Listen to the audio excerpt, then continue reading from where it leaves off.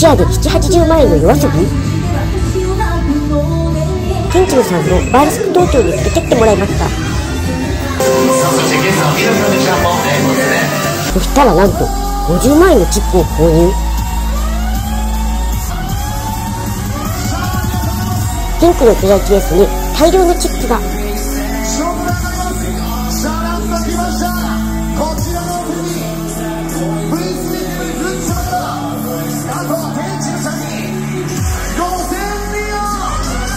ちなみに店員さんがまだこのプランを購入した人見たことなかったらしくてびっくりしてたよ。